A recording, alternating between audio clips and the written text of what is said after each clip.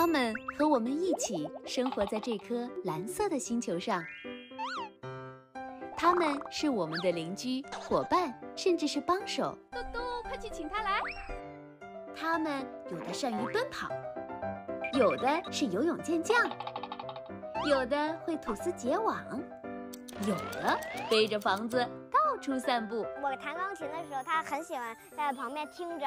在院子里看到了很多很多狗狗和咱们人类相处的很好。鸟的脚是这样的，昆虫是六条腿，蜘蛛是八条腿。咱们的生命有四个阶段，只要能照顾蚕宝宝，怎样我都不辛苦。它们虽然不会说话，但是它们和我们一样，需要关心，需要温暖，需要爱。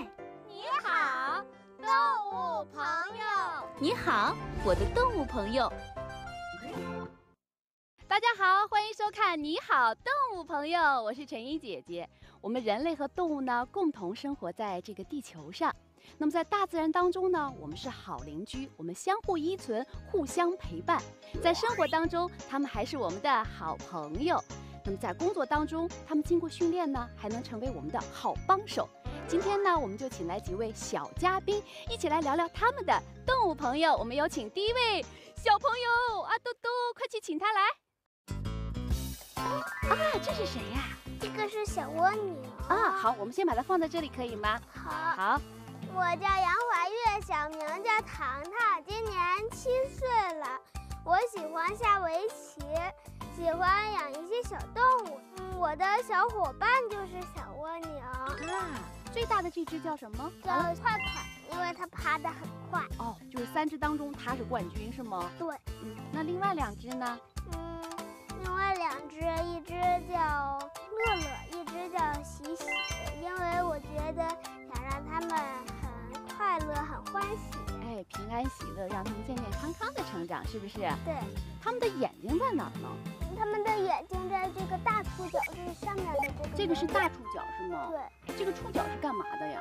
这个触角是让他们感觉东西，他们其实就是感觉亮和不亮。然后要是亮的时候，他们能看见的只有不到一公分；要是不亮的时候，它们能看到六到七公分呢。哦，它们就喜欢吃白菜吗？它们喜欢吃果皮和蔬菜叶，还有一些嗯水果。水果我们知道是甜的比较多，是吗？那它喜欢吃酸的吗？酸的，嗯，没试过是吗？对。那首先呢，我们先来，呃，让你判断一下哈，蜗牛到底是喜欢糖水还是喜欢醋呢？糖水。那我们一起来做一个小实验，看看蜗牛到底是喜欢吃甜的还是喜欢吃酸的，好不好？好。来，我给你准备了一个试验。好，咱们先给大家介绍一下，这杯呢是带有这个糖分的水，这杯呢你闻一闻，醋是醋。好，你请哪位选手出场来测试呢？就拿这个封面上的这个吧。他是谁？他好像他是喜喜吧？咦，对，喜喜，我们出来做个实验好吗？好了，来，准备开始实验，来吧，喜喜，这里有好吃的哟。出来了，他开始探索了。哎，看他在找，他在找，他在找。好，哎，来来一点，放这中间。好，对，哈哈，我已经看到它的嘴巴了。哇，哇，一口天好幸福啊全吃了。全喝了。谢谢，谢谢你。那么接下来我们要尝尝酸的喽。哎，好了它的触角又出来了。又出来了。哎，刚好这个时候呢，咱们给它喝点醋，好吧？啊，喝醋它会不会不适应呢？咱们看一下，让实验来揭晓答案，它真的不适应，触角都缩回去了。见证蜗牛喝醋的时候到啦。啊，蜗牛喜欢喝醋吗？不喜欢。真的吗？哎，真的呀。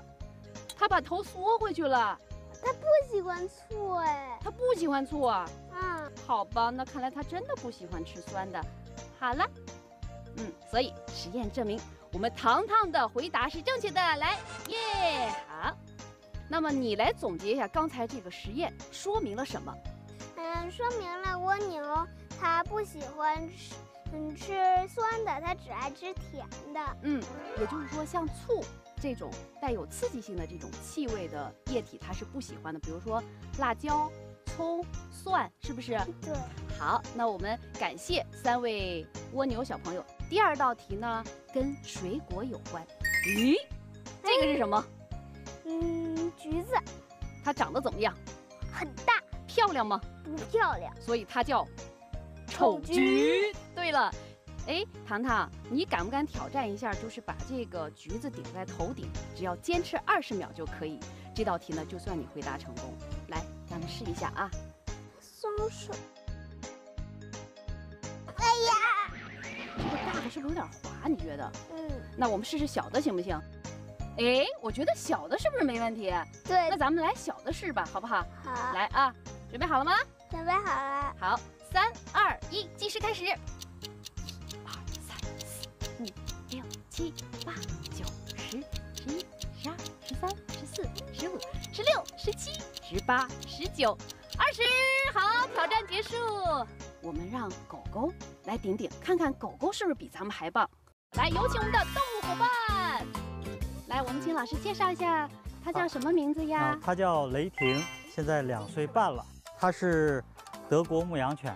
好，那我们请老师接下来给我们来展示一下我们雷霆顶球。好嗯，雷霆加油！一二三四五六七八九十十一十二十三十四十五十六十七十八十九二十。太棒了！那我们来问问老师哈，嗯那这项训练呢，在这个狗狗的训练当中是属于一种什么样的训练科目呢？啊这项训练呢，一个是它要掌握平衡，还有一个就是要专注。啊，如果它东张西望，注意力不集中的话，就很容易就掉了。那比如说像我们这个德牧这种这种狗狗，它可以在这个工作当中帮我们完成什么样的这个内容呢？工作内容它是啊帮助小朋友啊，它能帮助小朋友做什么？你觉得？它是帮助小朋友那一些那个看不清楚东西的小朋友。哎，没错，它可以帮帮助我们这个视力不太好的这些对，人它可以作为导盲犬，对，导盲啊犬，搜救，嗯还有抓捕犯人，对，啊，它都很好的可以胜任这项工作，对不对？还有防暴，哦。嗯，所以呢，我们看来这个狗狗呢，不仅能陪伴我们，同时呢，经过训练之后，还能成为我们的什么？好朋友，对，好朋友和好帮手。谢谢，下去休息，谢谢。刚才咱们看了狗狗的训练，你感觉怎么样？说说你的感受。嗯，我感觉狗狗和咱们人类相处的很好，而且它们很厉害。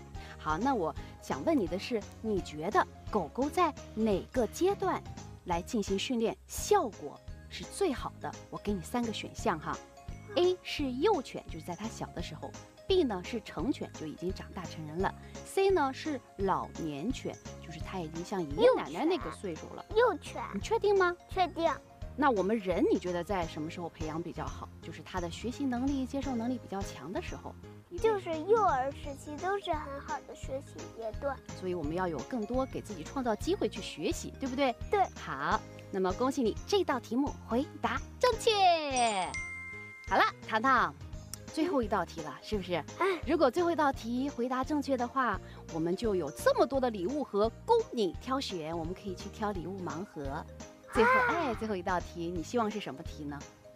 希望是，嗯，简单一点的吧。简单一点的。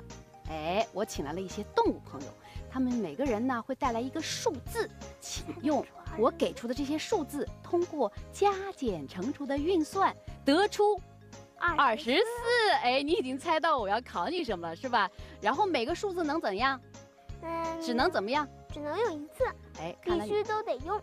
好，看来对你来说并不是很难，是不是？对。好，那我请出我的动物朋友，你准备好了吗？准备好了，好，来啦！大象带来了六，小狐狸，带来了二，兔子，带来了五，你猜是八八？哎，好了我算出来了，啊，这么快，五减二等于三，六减三等于三，三八二十四。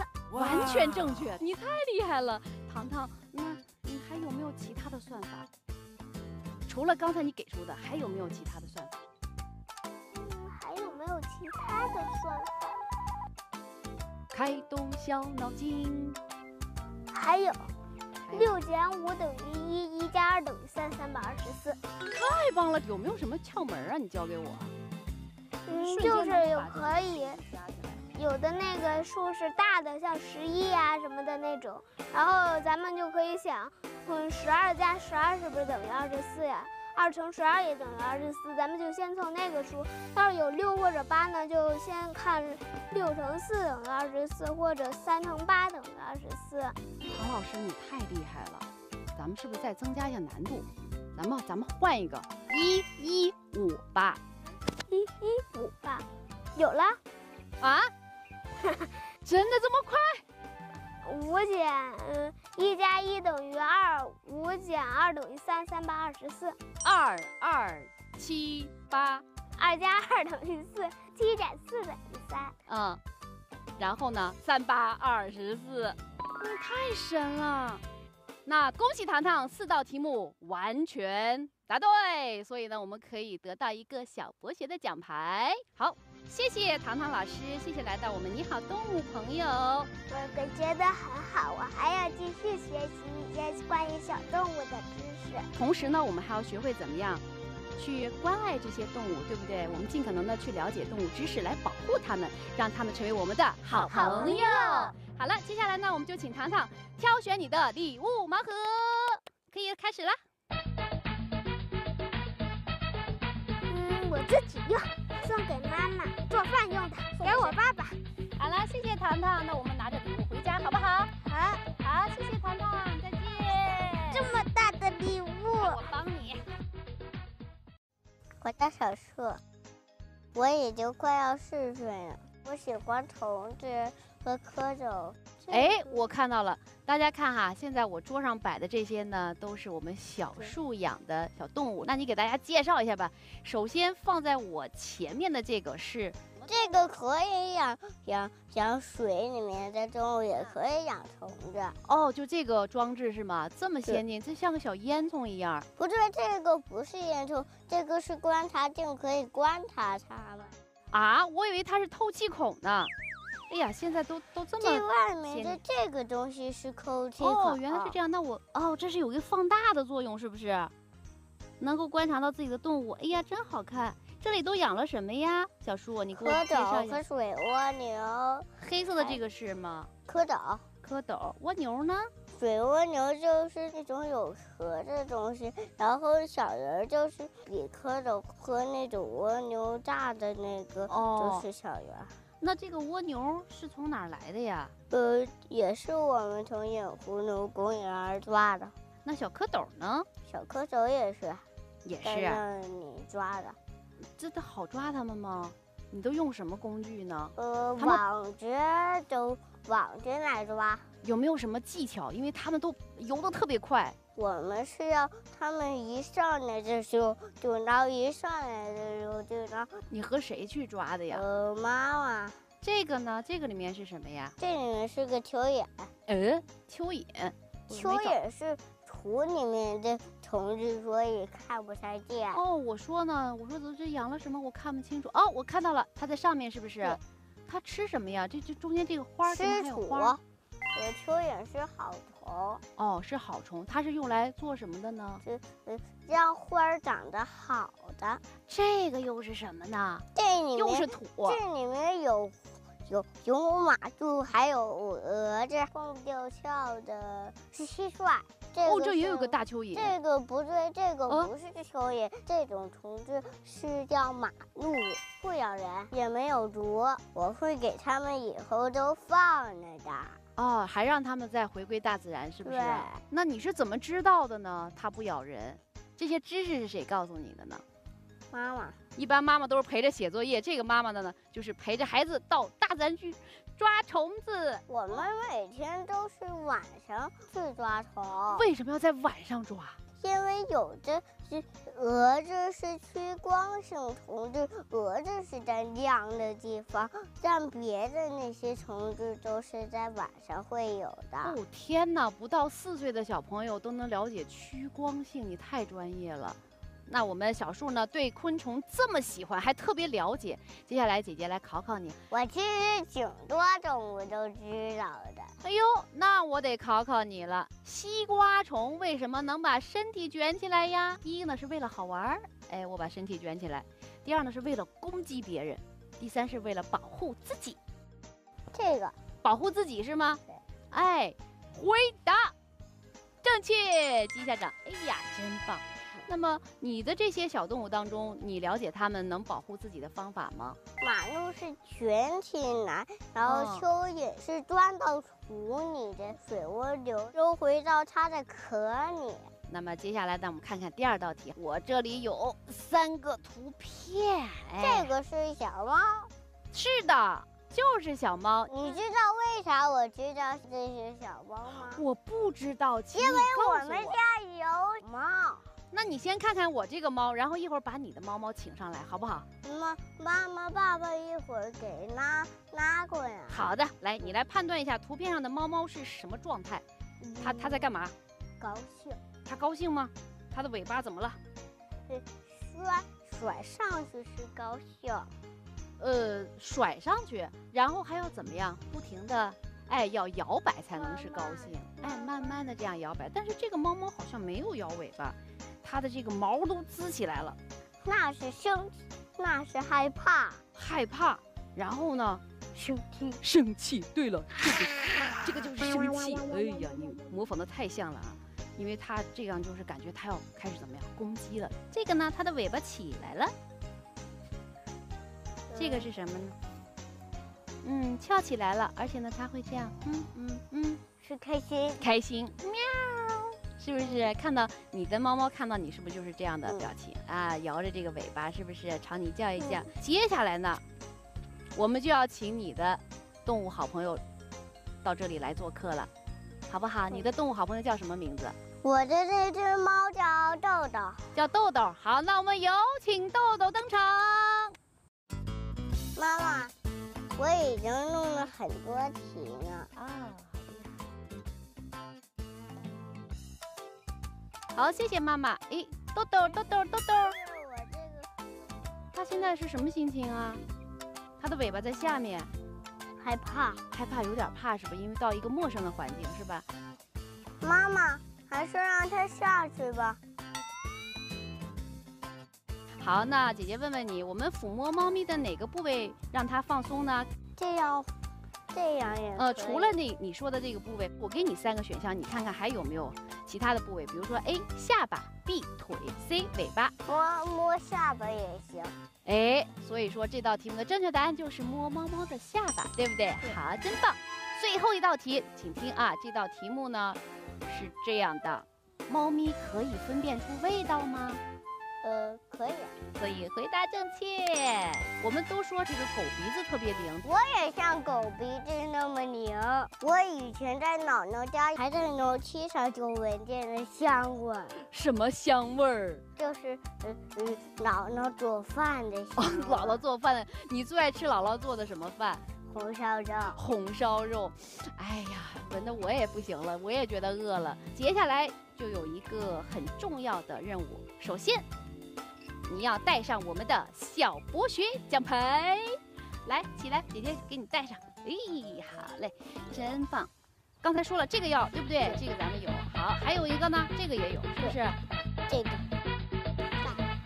再来一个这个，这个叫茄子。这，这个是小魔方，有送给我的好朋友。好了，那我们可以拿着礼物。回家喽！好，欢迎下一位嘉宾，他是杨之瑞，有请。你好，杨之瑞。姐姐好。哎，你好嘞。好，请坐。啊，先跟大家自我介绍一下。大家好，我叫杨之瑞，今年七岁了。嗯。我生活在一个和谐有爱的大家庭里。我们家一共八口。一共八口？那你都把每一口都介绍一下好不好？好的，我按年龄给您排一排。有。爷爷、妈妈、爸爸、我、妹妹、小丽、泡泡和小西。哇，小丽、小丽、泡泡、西西，他们是谁呀？是是你妹妹弟弟？不是，是我们家的猫猫和狗狗。哦，又有猫猫又有狗狗，嗯，太幸福了。那你喜欢哪个呢？我现在喜欢我们的新成员小西，嗯，它是一一个刚两个多月的小狗，刚两个月的小狗，是不是？是新成员是吗？嗯，它是什么品种的狗狗？巨型贵宾。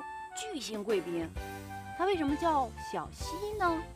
是因为我之前希望就是有一只狗狗，所以我叫它小西，因为是我的希望嘛。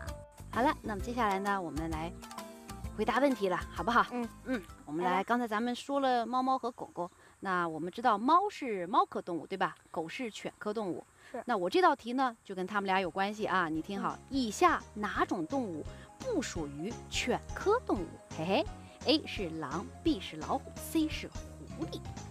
B 老虎。好，犬科和猫科还有什么你知道的？狗、狼、豺和狐狸。那猫科呢？猫科是猫、豹子、老虎、狮子。怎么来区分猫科和犬科？猫科动物体型中大，头大而圆，身上有花纹，舌尖有倒刺。嗯、犬科动物体型中等，头尖形，身上没有花纹，舌尖没有倒刺，面部修长。那它们这个生活的地方有区别吗？比如说犬科动物，它们一般是在什么地方来生活呢？犬科动物，呃，一般喜欢在开阔的平原地带。嗯，那猫科呢？猫科动物一般喜欢在森林里。猫科动物是喜欢独居还是群居呢？独居，但这里的狮子是群居动物。我觉得你是一个动物小专家。我从你这里都学习了很多的动物知识，我觉得今天请你来真是请对了。我们来看一下第二题哈，嗯，猫咪用爪子洗脸的行为，不是因为，不是因为啊，A 保持脸部的干净，B 保持胡须的干净，C 为了美观。有一个为了美观，因为猫和动物没法认出来镜子里的自己，一般也看不见自己的全身啊。也就是说，猫不会站在镜子前面去问说：“镜子，镜子，快告诉我，这世界上谁最漂亮？”是吗？不会的，它根本不认识镜子里的自己。好，明白了。那它为什么会清理胡子呢？因为胡子是猫的测量周围环境的重要工具啊，所以得给它保持干净，不要这个呃影响了它的这个灵敏度，对吧？嗯嗯，好的。我们再来看看第三题吧。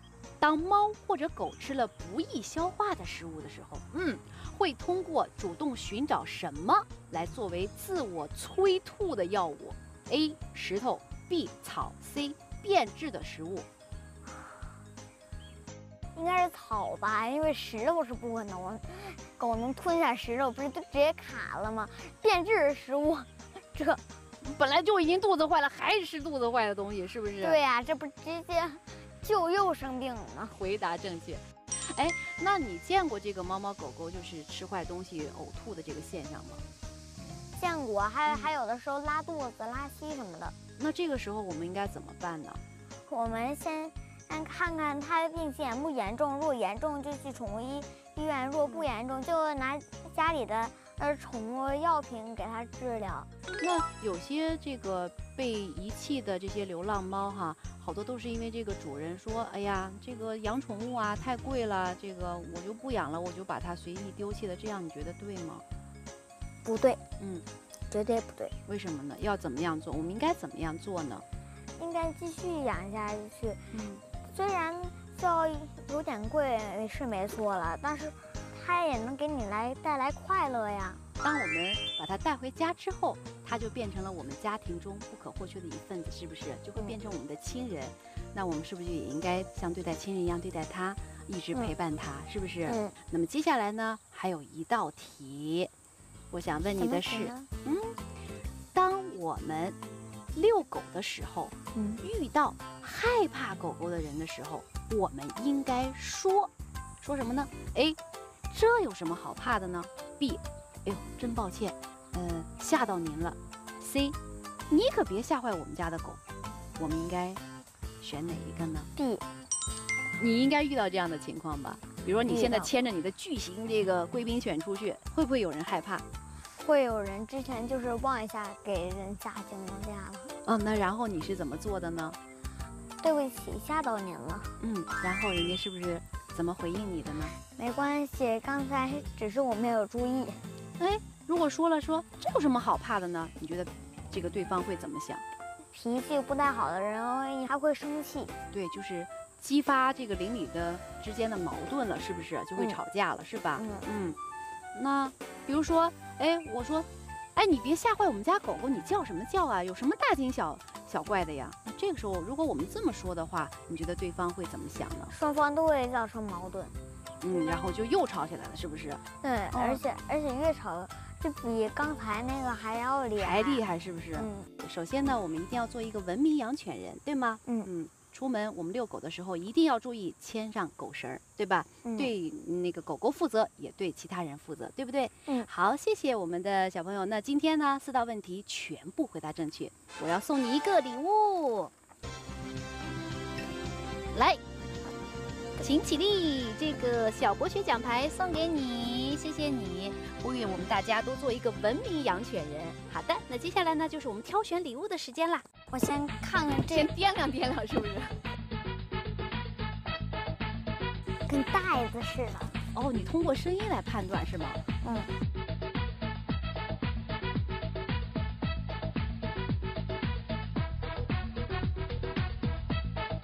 漂亮的小姑娘，你是谁呢？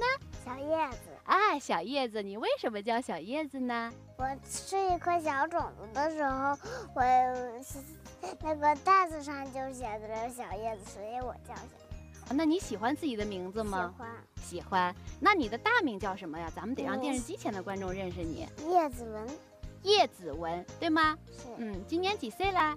嗯三岁半，三岁半，太厉害了，小叶子，快四岁。快四岁，什么时候过生日？嗯嗯，下一年我就四岁了，然后下一个冬天我就四岁半。这么快呀？长这么快呀？啊，那你过生日想不想要礼物？想要那你看姐姐今天这里是不是有很多的礼物盒？是哎，那一会儿呢，你回答对问题就可以挑走礼物，想不想拿走？来，小叶子加油，加油，没问题。好的，那你最喜欢什么动物啊？我最喜欢地企鹅，啊，那你给我讲讲地企鹅吧。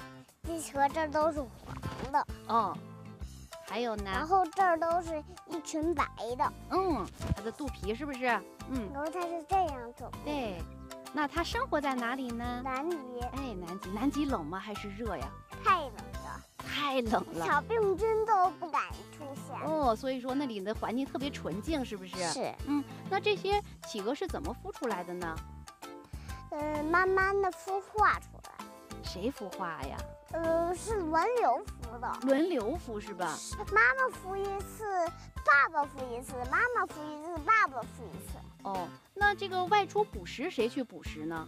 那个轮流捕食也跟那个一样的，妈妈捕食，爸爸捕食，妈妈捕食，爸爸捕食。哦，就是他俩这个轮换是不是？对，哦，那在你们家谁来照顾你呢？家里谁做饭呀？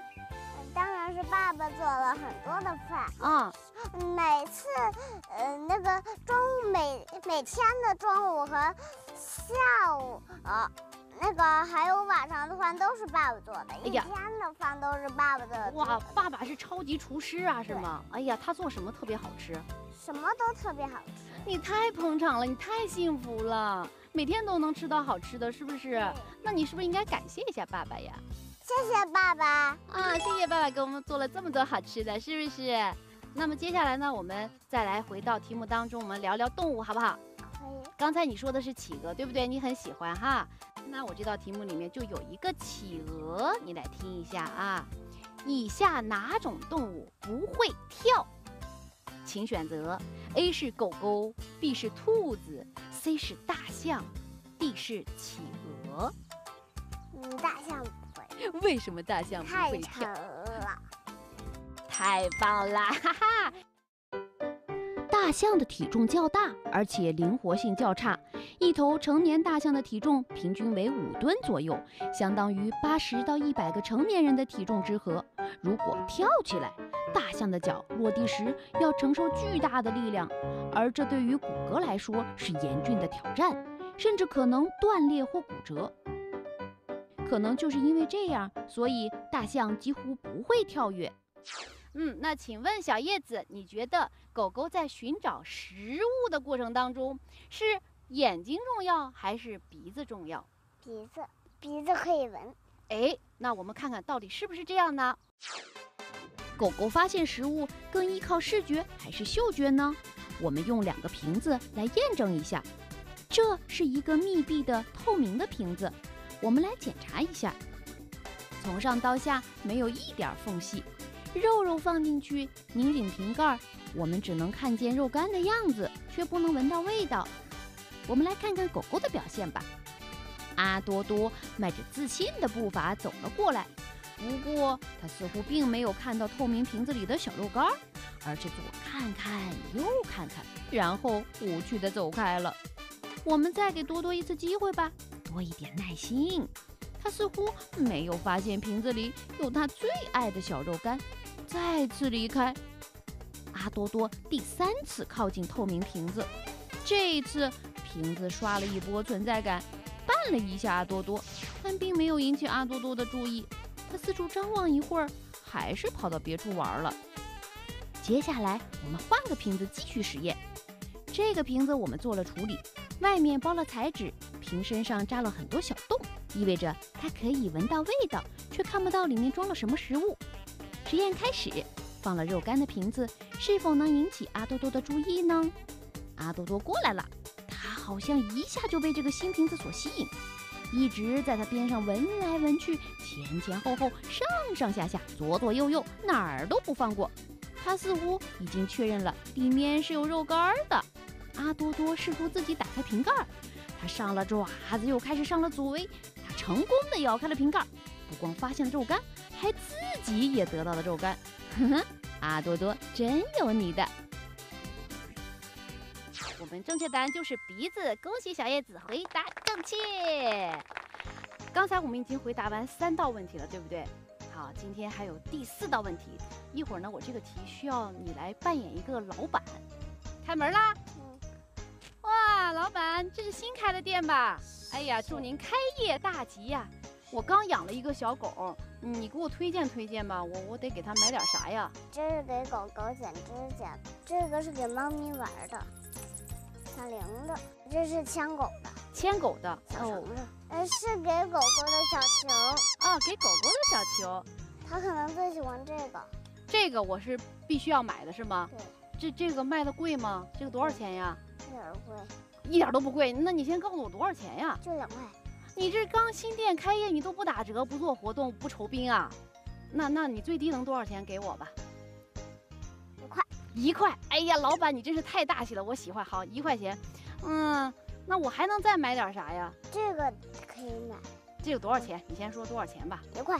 那我这个预算，我觉得今天呢还超出了我的这个预期。我现在我觉得我还能再拿两件，你再给我找找。这个也是给狗狗剪指甲的。哦，这个剪刀跟其他剪刀是不一样的，是吗？嗯。嗯，它哪不一样？跟跟咱们的这个平常的这个剪刀。这有小孔。哪个？这儿有个孔。然后呢，把它的指甲塞进去，是不是？哦。那这个剪刀，嗯，多少钱呀，老板？这个就一块钱。那行，那这个呢？这个多少钱？